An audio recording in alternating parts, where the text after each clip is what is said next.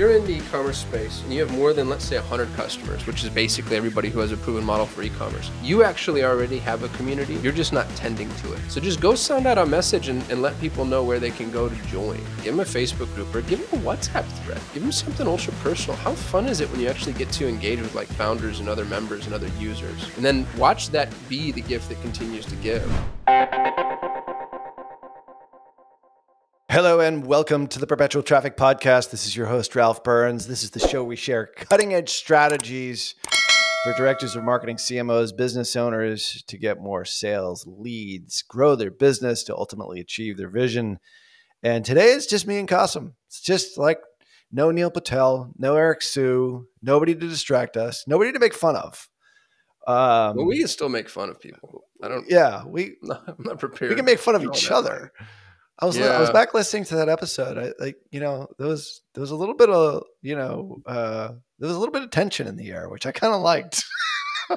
with, with with those guys, it's like you know we we I think Neil is my guess because he's like an OG internet marketer SEO guy. I have, yeah, I have a feeling like whenever anybody gets on a call with him, like they kind of kiss his ass. Oh yeah, yeah and yeah. it was it was good. I think Eric Siu enjoyed it because he uh, he realized that uh, you know maybe Neil sometimes gets the notoriety maybe he doesn't get as like Eric's a super freaking smart guy, but I mean talk about two brains. Uh, well, Neil's done the best job of anybody I know at self promoting. Like his his face oh. is on everything. Everything. Yeah, I mean yeah. just yeah. Talk about really using media buy to your benefit. And when you become a brand, Alex Hormozi talked about this. He had this great, I think it was a TikTok reel, and he talked about how he realized um, looking at celebrities selling alcohol. Yeah. You know, how come The Rock's able to make a billion dollars on his tequila brand? It's not like his tequila is anything special, and it's because he had a brand. And so Hormozi goes, so I did, you know, and Hormozi, you can almost tell when you watch his content, he doesn't want to be doing this but he realized that's what was going to move the needle for him. So, you know, that's a that's kind of a, a Trojan pro tip for our listeners, especially if you're doing a bunch of media buys. There's no reason not to put your face on things. You know, like John and I spend or we have been spending 250 grand a month in YouTube. And dude, it's crazy how often people come up to me now and they're like, "Oh, I know you." You know, yeah. just in weird random. It was at the locker room and the village in Scottsdale. Like, huh? Uh, oddly enough, it wasn't as awkward as you'd think. But I was in my towel post shower, and some guy's like, "Hey, man, I I know who you are." So, uh, oh my god! So you're like, wait a second, you're in the locker room of your your what your sports club? Yeah, it was the, the country club. I'm in the locker room. I just got out of the shower after my sauna, and some dude like spotted me and um, I mean, that's not why you want to do it, right? Unless that's why you want to do it. No. But building a brand puts you in a position you just have access to things you don't have access to otherwise. You can have conversations you wouldn't have had otherwise. Yeah. You know, people know who you are, and uh, especially in today's day and age, that's a, a very special type of currency, and it's it's tradable. Yeah, it is.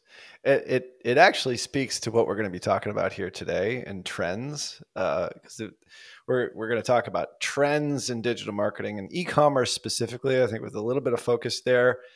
And one of the things that is not on this list is this very thing. And I've noticed that the brands that have a name or have a spokesperson attached to them, oftentimes because they either create community in advance, which is one of the things we'll talk about, but just having a face that goes along with the brand really helps like not only on the marketing side, but it just lends a human element to what the thing that you're doing. You see it now with big brands that do it. You know, like Mudwater, you see them all the time. You know, with their founder's story about too much caffeine and right. he's painting and he's doing it like it's really, really effective ads. And that's just one example. That's somebody who sort of came up through the internet marketing ranks and now is gone brand. Like we've done presentations on this, like how did Athletic Greens and Kate Spade and these big, big brands become big brands? It's because they did things that other people haven't done. In most cases, it's usually because of a celebrity. Like think of Kate Spade, think of The Rock, you know, think of George Clooney with, you know, I didn't realize like the tequila that I bought like you know, a couple of months ago from one of my buddies was George Clooney's. Dude, I made a billion dollars on that. You know, uh, Ryan dollars on that. Reynolds. Ryan, Reynolds, has done it a couple of times. He had a drink. He he had Boost Mobile. Mint, Mint, uh, is it Mint Mobile? Is it Mobile? Mint Mobile? It's He's Mint got a mobile. I don't know which one Yeah. it is. Yeah, he owns a he owns a marketing agency in Austin. Actually, my buddy Adam Lyons, who we've had Adam on this show, haven't we? I don't think so. If not, we should. He's a wicked smart marketer. But Adam pointed me towards uh, Ryan Reynolds' marketing agencies like core thesis. Yep. And they do this newsjacking thing to where anything that happens today, they've shot an episode, they've shot an ad on it today. Yeah. So you know, Kim Kardashian hit somebody's dog with her SUV, and they've shot an, a parody ad within a couple of hours, and somehow related that back to Mint Mobile. Yeah. Yeah. It's great. Great, uh, great book to read on that. If you're interested more in it, is uh, Newsjacking by David Meerman Scott, I believe. Hmm. Yeah, it's uh, it's super good. Uh, it's like a how-to guide on how to newsjack. So, Oh yeah, he's got uh, a whole website on it too, newsjacking.com. Yeah, yeah, it's really good. I haven't read it in a couple years, but now that you mention it, it was it. We have done this to a small degree. It's like we're not as nimble, or it's not our mo. Like we produce content sort of that is evergreen, and but like you can't doubt the fact that this is like it, in the entire book. You can be like, holy crap! There's dozens of examples of how it's been done. You probably haven't even realized that it's been done this way. And I would say Ryan Reynolds is a master of it. Plus, he's really good in the commercials. Oh, dude, he's Yeah. so funny. He's so funny. He's Yeah. just yeah. So having that, I do think is a trend, and I think it's a it's a way in which you differentiate whether it's a founder's story, whether it's you know the Mudwater guy, which is kind of a founder story. He's, he's not a celebrity, you know, a, a celebrity being tied to a brand. Obviously, the Kardashians are great at this. You get The Rock, you got plenty of examples there. You got Conor McGregor, not to be confused with Ewan McGregor, Obi Wan Kenobi, uh, Kasim, uh, with Proper 12. Like there is so many examples of this, and I think it definitely is a trend. As and as as a person once told me, it's like if you can be the nerd of your space and do all the research and be Mm. the nerd that knows more about, you know, honey based moisturizers than anyone else on the planet. People will follow you because you're so nerded out about it. They will follow you and buy it because you've done all the research for them if your story is original, unique, and authentic. Yeah, Gary Vee did that with wine. Absolutely. What a So, weird guy. What a weird face for wine. yeah. You know what I mean? You'd expect like a gray beard geriatric or blue blood wasp or like there there's a collection of people that you would expect to be like the the spokesperson for wine. And then Gary Vee's just this foul mouth technophile trust Yeah. fund baby who like just decided to start shooting YouTube videos about wine. It's true. And people loved him for it, man. It's unreal. He built a whole his brand. That's what's it's actually really interesting. This conversation comes full circle. His personal brand became way bigger than the wine brand. Yeah. Yeah. Uh, another great example, kids that um, my my kids follow him all the time, and I now follow him. I mean, talk about a not a face for marketing is Casey Neustat I don't know who that is. or Neistat. Sorry, I always get his his pronunciation confused. He he is a YouTube vlogger. He- Like he has a cinematic background. Huge, like he has commercials and ads, not like Mr. Beast level Hmm. involvement, but his brand. He has built up such brand equity, created a community that basically whatever it is that he pitches or he talks about, people buy. Same kind of thing, but it, he is not a face you would ever think would be a successful spokesperson. It just goes to show you, like, you don't have to be like, you don't have to have, you know, rock star uh, Hollywood good looks like Kasim Aslam to, to pitch stuff. Clearly, I that's working mean, against me. you Yeah, know, it's so you- sad. The suggested you can look like me, having been in an industrial accident, and you know, still sell stuff. So, if you search Casey Neistat, the, one of the first suggestions is Casey Neistat teeth. There's just a bunch of very unflattering pictures of his teeth. I'm like, bad. why? Who? Who does that? I don't know. I know. Google's a Who the weird rabbit hole, man. it really is. It's the strangest thing.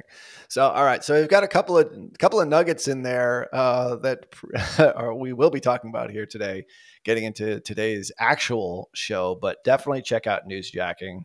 Uh, we'll leave links in the show notes with an affiliate link, of course. So if you click on my Amazon, I make two cents. It's great, isn't that? Uh, no, but uh, seriously, it's actually it's, it is a great book, and you also have a a nugget from a driven member. This is one of the best things about this new mastermind that I'm in. Like it costs a lot of money. Like no offense, it's freaking expensive, and to get there four times a year, it's even more expensive, but a perpetual traffic listener that maybe doesn't have that kind of money that you and your money grubbing uh, you know greedy millionaire uh, misfit uh, co-founders charge you can get the benefit of that here at perpetual traffic so i'm just trying to bring more and more value like so today's tool is brought to you by a driven member and uh, lay it on us Kasim. Yeah, I love that one our, I haven't heard of horrible money grubbing reputation precedes us. uh, this comes from our buddy Murray Gray. Uh, not a paid promotion, incidentally. It's just something that I happened across. He did a demo for us, and we were all pretty blown away. Murray owns a product called Xperiencify, and it's uh, spelt with an X, Xperiencify. And what's cool about it is it gamifies online courses, which, by the way, like, dear God in heaven, have we needed this forever? So if you have an online course, um, or to be honest with you, any info product, and you're seeing uh, people drop off in the completion of it, this solves that problem. Which, by the way, is every online course ever in the history of online courses. Uh, we worked with one of the largest LMSs in the world, and Ralph, the purchase to usage rates are they're horrifying. Yeah. You know, in some industries, it's like 93% of online courses that are bought are never even started, not finished never even started. And so Xperiencify is cool because it builds like real uh, gaming psychology into your online course. And, and, you know, forgive me for using this word. It's actually right on his website, but it makes it addictive. And, but if your online course is meant to help somebody, then that's a, that's a powerful and positive addiction. Um, and yeah, he's got, he actually has that statistic cited right on his website too. 97% of people who purchase your course are unlikely to ever complete it. Yeah. Um, and we have something of a responsibility to people that buy things from us to make sure that they actually get value from those things. I so, believe so. Yeah, yeah, I think I think it's it's pretty damn cool. Um, all things said and done. And uh, you know, if you've got an online course or um, or thinking about an online course, this is this is a great place to start. Go to xperiencify.com. So it doesn't create the content for you. It makes it ensures that the content is consumed by gamifying the process. Correct. Of it. Okay, got it. Yeah, and it uses like you know PhD level gamification science. Um, and he's got a ton of case studies too. That's part of what he was sharing with us. There's like 10,000 course creators that have used it. Um, and there's all these different trigger points and um, just like they've really thought through how this can and should work. Uh, if you go to the website he's got all these the triggers are explained throughout which is kind of cool too you know it's really even if you don't have a course it's a good lesson just scrolling through the website is a good lesson in the thought logic behind gamification mm. so this would be like an alternative to a thinkific or kajabi or teachable those guys yeah, because Kajabi and Teachable will help you sort of outline the course itself. You still have to create all the content. I know I know for a fact that Kajabi and both, you know, you guys and we actually did courses for Kajabi. So we're huge fans of Kajabi, but Kajabi right now is in the process of actually creating a way in which to create the course using AI. I think it's in a beta right now, but I think you're going to see a lot of that coming out. I know we have a common friend who who does that as well, which we'll talk about probably on a later show. But the point is, is like, how do you get people to actually consume it? That's right. the issue. Yeah. And it goes back to what Tony Robbins used to say back when I'd listen to like cassette tapes in my Ford Taurus driving around is 99% of the people when you buy like a cape, you know, the tape series, like unlimited power, you would always say 99% of people don't even take the cellophane off the box. And congratulations to you. Like he says that in like the first tape. I was like, huh? This is before I knew anything about like marketing or info products or whatever. But the point is, is like if you're not helping your buyer consume, you're doing them a disservice. Mm-hmm. And you're doing your brand a disservice too. Because it's like at the end of the day, isn't it about I don't know, not to sound corny here, but actually helping people and fulfilling on the promise that you actually promised delivering. to them. Well, and yeah. you know, if you want to make it self-serving, the other piece of it is they're more likely to buy the next time if they actually consumed the first time. Yeah. You know, it's exponentially cheaper to resell an existing customer than sell a new customer. All the data supports that and has forever. Of course. So if you can help your existing customers, eh, that's worth something that's worth backtracking to. Go back go back to people that bought from you and never really benefited and help them benefit and you know talk about a phenomenal well from which you can draw upon forever. Yeah 100% well there you go. You got a couple of nuggets here before we even get into the content of today's show. Uh, we are going to get into i don't know how many of these trends. We're going to get through as many as we possibly can. I think we've got like 13 here. We're going to do our so, best yeah, we're going to do our best to get through as many as we possibly can with probably some ad libbing on the way. But these are things to help shape your marketing as well as, especially from an e commerce standpoint, because we've got a lot of people to listen to this show about e commerce. Uh, it's one of the things that um, you know we do really well at Tier 11. I know you guys do an excellent job at Solutions 8. With that, we are going to get into those trends right after this quick break. So stick around.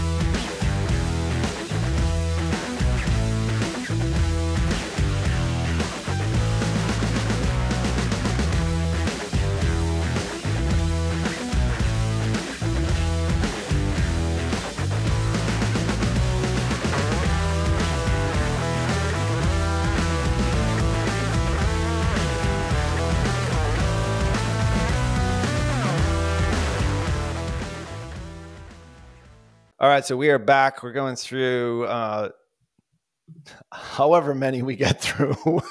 My guess is probably four or five. We're going to do probably a, a, part two of this as well. Is uh, e-commerce and digital marketing trends that will shape your marketing in 2024. So one of the big things, and this seems, I'm going to throw a big cost them 25 cent word here. Uh-oh. Uh, yeah, watch it. Uh, this seems anathema to say that traffic is your least important part of your marketing right now. Counterintuitive, almost sacrilegious, because we are a perpetual traffic. It's the name of the show. It's the sexy part. It's the thing that people want.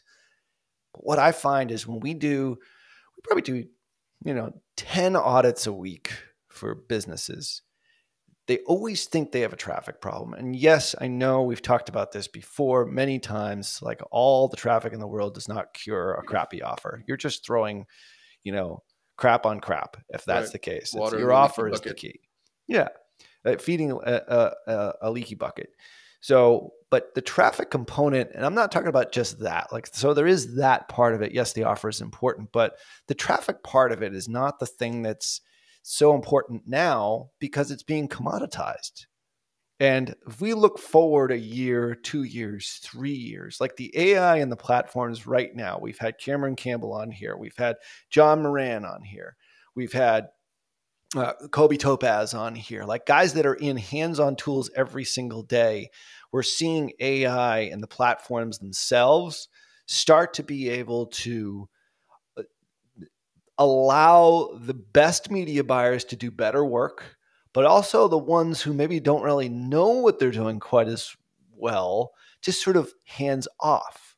Yeah, the in-app and, optimization is actually starting, and I it's not it's not new, right? I mean, we've been. I, one of my favorite examples is we had a client whose account we hadn't touched in seven months. No zero change history. We did some feed optimizations, but zero change history. And we reached out to him on a, on a pretty regular basis, and we're like, hey, dude, you sure you still want to pay us to just sit here and watch this thing? And what was sure. funny is for a really long time, he was like, yeah, actually, I just want you to keep an eye on it. It's, it's worth it for me for that and to be able to call you and to get my reporting. And then one day he goes, you know, I guess I really can just do this myself. Yeah. Um, which is dangerous for agencies, but for customers, I think everybody's starting to kind of see that depending on the type of business you're in and the amount of tweaking you need you know that like you're saying ralph the traffic just might it's not that it's not important it's that it's, it's just not as hard as it used to be. It used to be. Like when we launched this show it was all about traffic and all the new things and the ways to get around the algorithm and to hack them and to oh well you know back then it was oh facebook tells you to do this but here's what really works. Here's right. the inside secrets. There's less and less of that now no i think now the real place for the media buyer this is the you know at solutions 8 we had to make a pivot because we got nailed by this exact problem the value proposition is the comparative analysis between traffic channels so if you're just managing one traffic channel, then I think that you're going to be replaced by the AI yesterday. Uh, what agencies should look at doing too, um, it, I actually learned this term from our, one of our strategists, Glenn, one of the sharpest guys I've ever known. Uh, it's the analysis of covariance. And if you can see, like, the, here's how Meta impacts Google if and when you roll in TikTok, except when there's, you know, like trying to figure out because the in-app metrics can't really be trusted when you're running multiple channels. And so I think that's the space for an agency. But uh, other than that, it's you know if you're just myopic in scope and view, uh, we've been pretty well out optimized. Yeah, I think it's a it's a less relevant topic because I mean, like we we now have a we're redoing our website. By the time this goes live, it might actually be live. We're redoing our website where traffic used to be a huge portion of like this overall system that we use. And it's now it's since outdated. It's since outdated really within the last year or two. But traffic is always going to be a component for sure because it's the gasoline you can throw on the fire to make the fire bigger mm. great but a lot of that is automated and w- what we found is that if you look at at marketing in general or digital marketing in general, we sort of look at it as four pillars, like in basic terms. It's your creative, it's your traffic, it's your after the click, all tied together with data. And data is everything that you can possibly pull from third party attribution softwares, from GA4, from your source of truth, which is actually your CRM where you collect your money or your merchant account, whatever it happens to be all those things work in concert together. And as we were putting this graphic together, tr- the traffic gear in this, what we refer to as the conversion machine, was the smallest gear. Yeah, shrinks. It shrinks. It used to be the biggest gear. And I think that's now changed. And I think that is uh, certainly a trend. I think that a lot of folks, I'm starting to see that realization occur. What I'm seeing more and more is, you know, siloed uh, the the the siloification of traffic, which has always existed, is still a problem that a lot of businesses have. Like for example, we've got a brand that has four different agencies for four different channels: social, email, Google, and I don't. They're not really even doing YouTube, and then uh, after the click and none of those four silos talk to each other, but they yeah, all are they? telling they fight. Why would they? Because they yeah. are all claiming credit for the last click attribution. Whereas I think the smart businesses now say, okay, well, you need a holistic view of this because traffic, there's no one like we talked about this in a few episodes back with you and and you know your keynote speech at at, at TNC is that those lines are blurred now you mm. have to be able to look at things from a holistic view as opposed to just looking at it channel by channel by channel. And I know we might be beating a dead horse here if you've been listening to the show or watching the show at any length of time, but it's so much more important now than it ever has been. Word, word to the mother. so, uh, trend number two. This is a big one for you. You found this to be the case. This is my favorite soapbox. Is I think the future of all things digital marketing is community. I think that's especially true in e-commerce, since this is what this episode about is about, right? The 10 e-commerce trends that will shape your marketing in 2024. And I think if you're not building community around your products, you're missing out on a huge lever. And the nice thing about community is it actually builds itself. Because in our, you know, strange commerce driven world, people define themselves by what they buy and what they use and you know this because people use stickers. You ever notice that? Mm. You send somebody a sticker, bro. I, I saw I see people with like stickers of the coffee they drink on their laptop case. You know, so that's that's a really small and kind of benign way of sort of identifying the community. But I, think if you build a community around your products, um, you put people in a position to sort of attach their identity to it. And I don't know that there's anything more powerful because from a retention standpoint, you know, if I buy your product because I like it, that's a whole lot different than I buy your product because I identify myself with somebody who uses your product. And the the cliche example of this is Apple, but there's a billion more. You know, Tesla's done a really good job at this too. It, people don't just buy Tesla for Tesla any longer; they buy Tesla so they can be a part of this Tesla community. Um, and there are smaller brands that have done this really well. I, I think the the the plunge.com people did a good job at this. Not that I'm recommending them incidentally, because my plunge broke down seven times in nine months. Uh, but it was unreal, dude. And their support is interesting at absolute best. However, as uh, as exactly pissy as I rave, am with them, rave recommendation there. Yeah, um, don't buy plunge, but they did a really good job and this is how they suckered me into buying from them you know uh, even with sort of a faulty product is there's so many people posting about themselves using the plunge and it's kind of this thing where it becomes a part of your identity. Um, you know and everybody wants to be the the virtue signaler showing themselves in 39 degree water. And so you get all these social posts and you tag yourself in it. I even did it. You know they've got 200 some odd thousand followers and um, you post yourself using the plunge and then they'll shout you back out saying hey good job or whatever. Like there's this huge community built around ice baths and cold plunges and uh, you know they've they've done a good job at building a community around this this endeavor. And they've even kind of talking about newsjacking they've jacked other people's community. So like the wim hof community and the cold exposure community have all they get to play into that too. So it's not even that you necessarily have to build the community. You can go borrow from other people's if you have a product that's directly applicable. You know if you're looking at concentric circles there's no reason not to to draw on those communities so uh, it's it's weird because even with a product that I would consider to be second rate or faulty, they own the industry because they own the community. Yeah, yeah, it's uh, it, it's pretty insane. We recently bought a rowing machine. Or I bought one for my wife, and now I use now it. Now I have to use it. now I have to use it, and I mean it's I don't know if I, I haven't fallen in love with it as of yet, but they created a community around this machine. And uh, well, I'll leave a link in the show notes here for it. If you're not familiar with it, it's Peloton like, but not really like uber competitive like Peloton. But Peloton being a great example of another community. A great community. Absolutely. Yeah. Like there are people that are so devoted to this Yep. It's like my my niece and nephew like live right down the street, and they are on the Peloton every single day, and they are competing against this community of people, and they now know these people from all over the country because they compete against them. And then, of course, there's I don't know what it is for Peloton. I think it's a Facebook group, but there's a Facebook group for Hydrow, you know, which is the the company that the rower that we bought. And I I'm watching kind of like I've only used it a couple of times and I'm like, this is brilliant.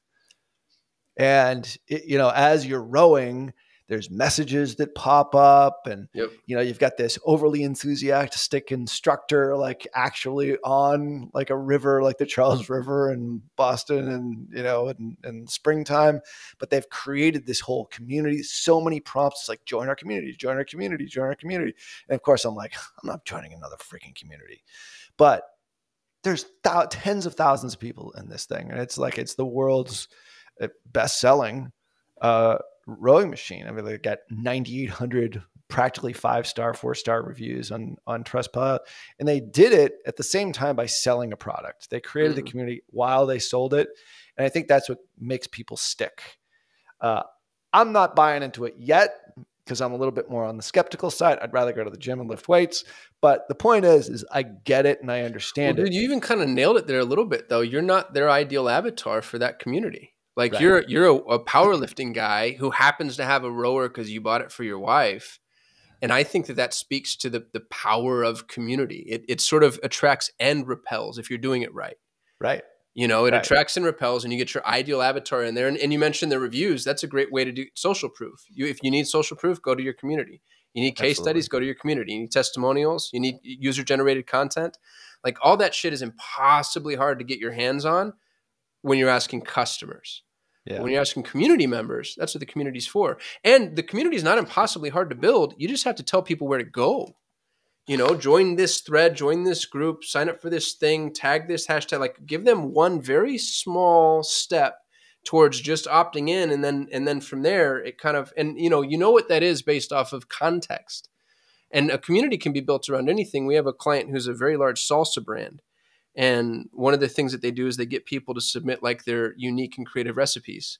Yeah. And people love the shit out of being able to do that, dude, because Yeah. the people that use this type of salsa are so creative just in general. And they're submitting all these like unique things that they did. And, and then they highlight them from within the community. And then they kind of become nerd famous in this little microcosm. Yep. And but they let people know where to go to do that. And that's how you build that community up. So I, I think the fact that you haven't opted into this community in a weird idiosyncratic way speaks to the power of community in general because they don't want you in there, dude. They don't want- You're not going to talk about rowing. You're going to tell everybody to go to the gym and lift weights. like look at all you you skinny people. Yeah. Like, come on. You're burning Uh, calories. What I you- know. Come on, man. You should be adding like lean muscle. No, and the last example, like that is a case where Hydrow did it in, uh, you know, in sync with the sale of the product. Hmm. I've seen a lot of brands, one in particular who we just spoke with yesterday. Like they created this one guy, like created uh, a, a community on YouTube, seven hundred and twenty-eight thousand uh, followers on YouTube, one and a half million on Instagram, you know, 14, 1500 videos on YouTube, created this incredible community for guys like the ages of 15 to 25, maybe 30, and just showed them how to work out in this new way of doing it. Talk about like muscle building and strength and all this sort of stuff on a three day routine with intermittent fasting and reverse pyramid training and all these sort of things. You're like, huh? And he created this community and then started selling programs. Hmm. So he did all the videos, did all the work up front, and now he's selling supplements, which is and he sells other things like you know Which workout the highest margin product in the world. Highest margin, like, it's a- dear God. He, he did such an incredible job, and unfortunately, his agencies don't know what the hell they're doing. But the point is, is like they built that community in advance. Look at Facebook. Great example. Built community, got Mm. like a billion people on board, and then boom.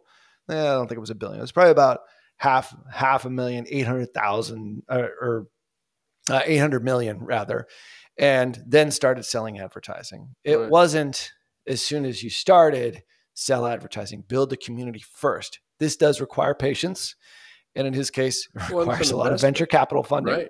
Yeah. But it- yeah. So But it's we know it's worth it because look at have you seen all these newsletters that are selling now oh, it's insane. for I know un- Perry's a big believer unbelievable multiples. Yeah. yeah.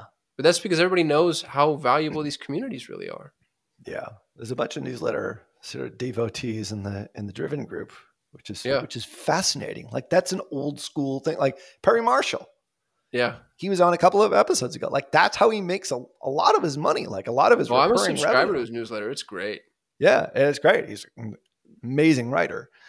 The point is, is like he's created a community, and you can do it in concert with a product launch. But I think if you have the capability to be able to do it in advance of, and then you figure out what your product should be, in a lot of cases, right? Well, the, your community. That's the other thing that's really cool is your community, community will tell you. Yeah, Here's what we want from you.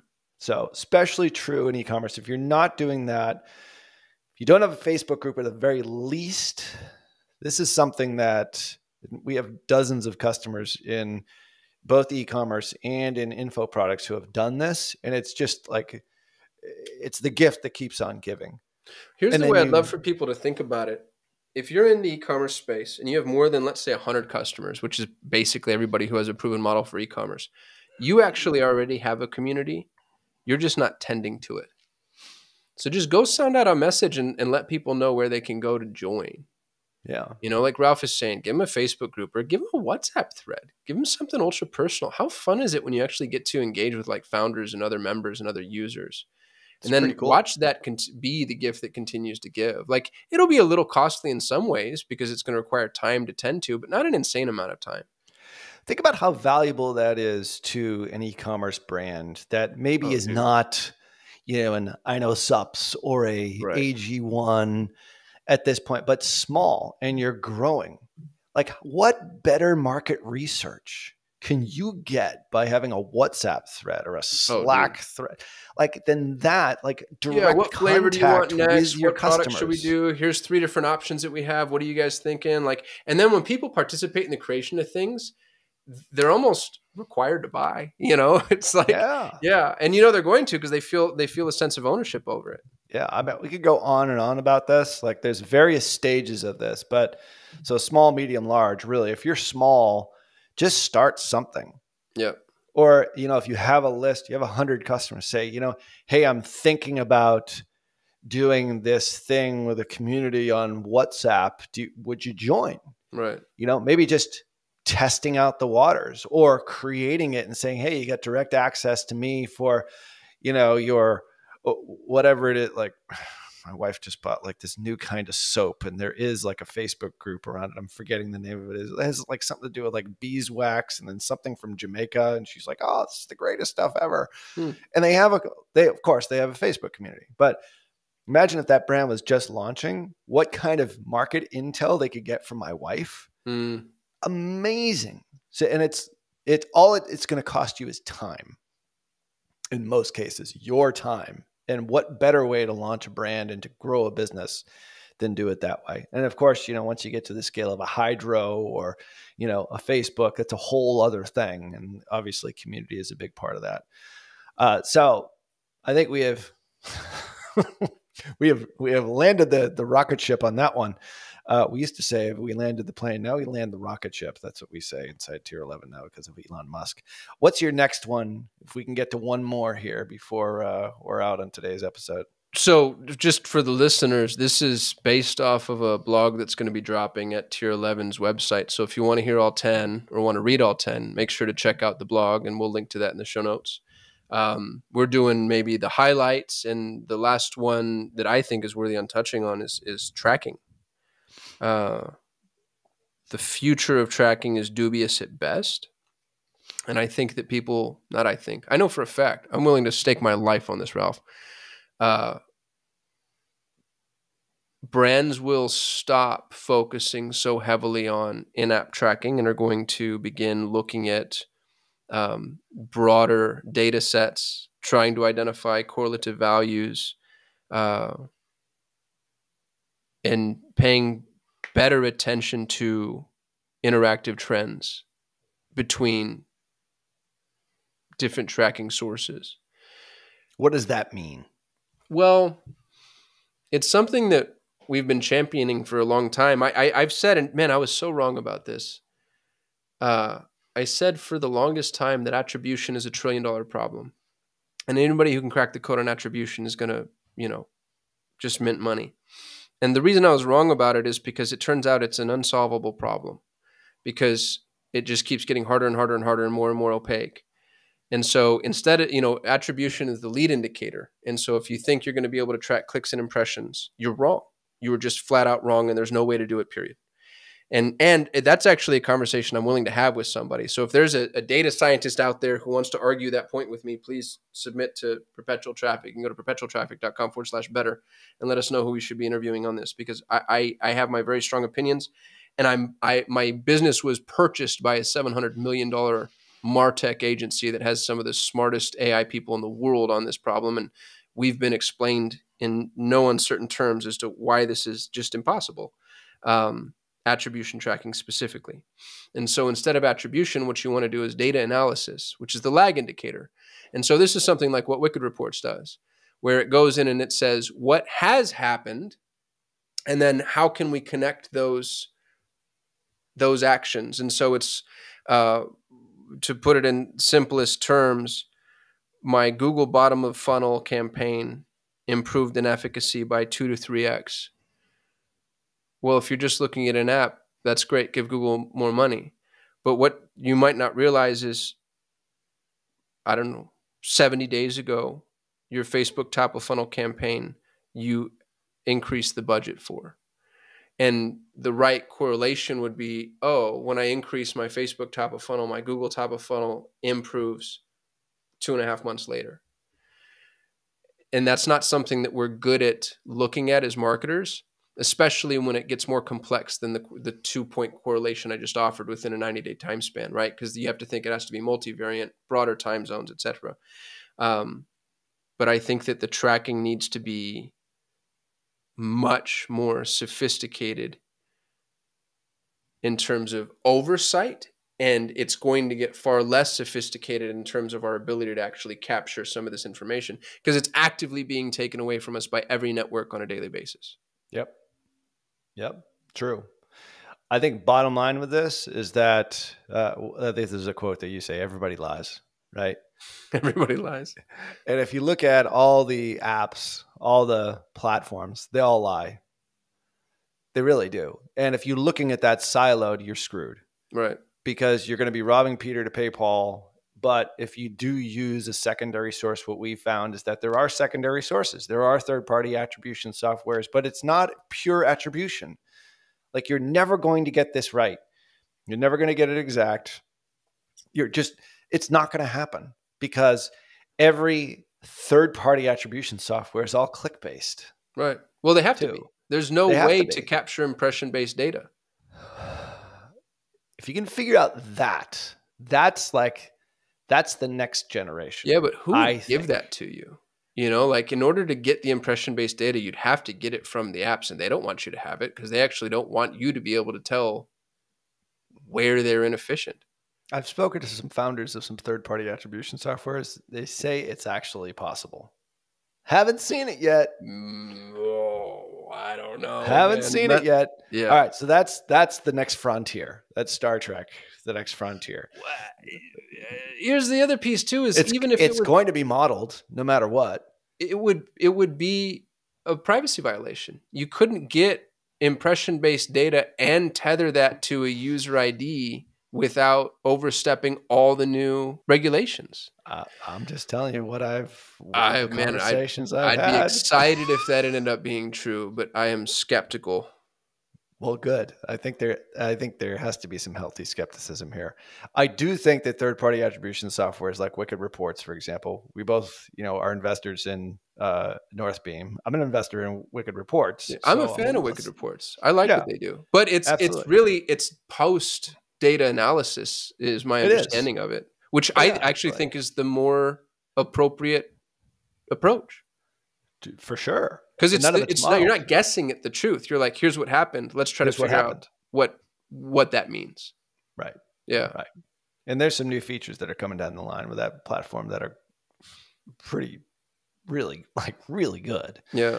That have been hidden inside the data, hidden inside the UI the point is is like that needs to be a part of your overall components one of the first things that we install is that in combination with a couple of different you know ways in which we get that data you know all along the lines of still in line with privacy policies and in line with all the other issues that are in the EU, United States, California specifically. The point is, is like, but it only gives you a partial story. Mm-hmm. The point is, is that I think there's an over reliance on everyone wants to get attribution 100% accurate and it's never actually going to happen and i think that is something that you have to have a holistic 30,000 foot view. You have to have a software that plugs into all of the platforms that you're using and at least gives you a foggy idea at best because if you're going from google to facebook to tiktok to snapchat and trying to compare them all in their own silos you're just going to drive yourself insane. Yeah you're right.